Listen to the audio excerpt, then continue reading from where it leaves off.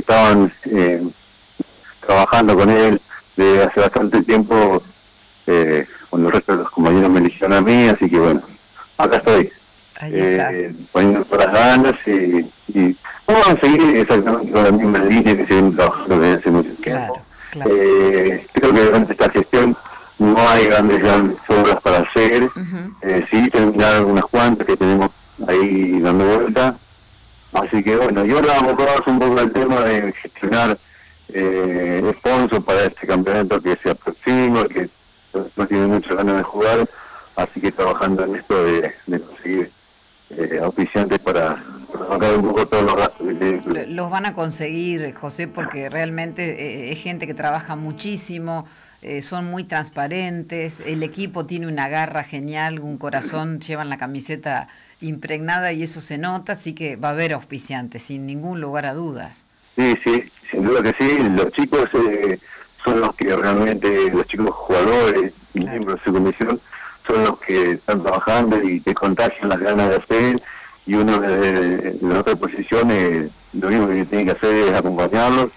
Y bueno, entre todos estamos laburando bien, eh, no hay problemas internos, estamos todos trabajando por el mismo que creo que tiene que salir todo bien, más allá de los resultados que puedan darse en un partido de fútbol, eh, es todo muy meritorio la gente del pueblo también muy entusiasmada, sí. acompañan en todo, están apoyando, ayudando, eh, siempre no sé por qué necesita el club o qué necesitan los jugadores o lo que sea, ¿viste?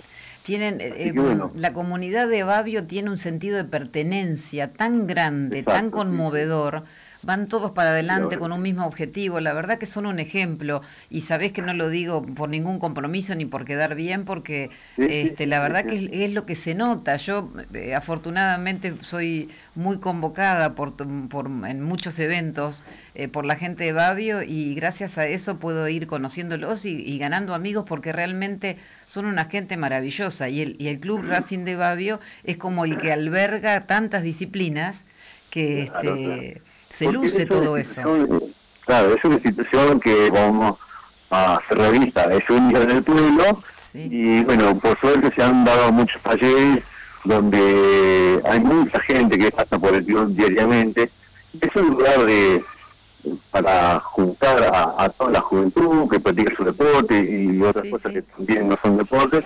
Y por suerte, eh, eh todos entusiasmados, el lugar, las instalaciones son buenas, las atenciones son buenas, los profesores son buenos, así que todo camina bien, desde la parte social y de la parte deportiva también. Así que siempre laburando, nosotros tener las cosas, eh, creo que es el único club que tiene todo en condiciones, papeles en condiciones, que nos ha llevado muchísimos horas de sacrificio, hay viajes interminables a la plata por tener todo esto en orden. Claro. Y creo que todo eso se ve reflejado después en eh, en el actitud que tiene la gente con, nosotros, porque realmente valoran el esfuerzo que uno ha hecho para tener todo esto en orden.